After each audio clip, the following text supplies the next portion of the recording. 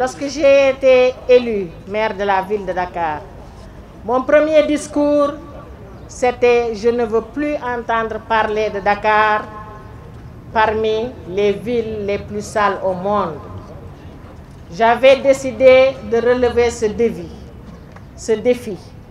Et depuis lors, la ville de Dakar travaille dans ce sens. Notre objectif principal, c'est de rendre Dakar propre. Il fallait donc désencombrer la ville, nettoyer la ville, mais aussi reverdir la ville. Vous le savez tous, Dakar est devenu une ville béton. Tout est construit à Dakar. Les arbres ont été coupés pour être remplacés par des buildings. Dakar, c'était le Cap Vert. Nous n'avons plus ce Cap Vert, nous avons une ville béton. Il est maintenant temps de revenir à cette ville verte d'antan. Dernier, il a procédé au lancement de ce reboisement dans toutes les villes, dans tous les départements du Sénégal.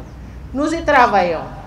Nous y travaillons avec toute notre volonté, avec notre cœur, je veux dire. Et cette initiative de Khadi vient à son heure. Nous les femmes, nous les femmes, je m'adresse à vous. Nous les femmes, c'est à nous de reverdir notre pays et nous le pouvons.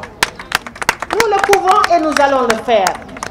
Prenons l'engagement vraiment de nous y mettre dès à présent. Et c'est là où je vous félicite, Madame la Présidente. Je vous félicite vraiment pour cette initiative. Il faut savoir relever des défis. Et je suis sûre que les femmes sont conscientes. Nous devons préserver notre environnement. Nous devons vivre dans un environnement sain pour être en bonne santé.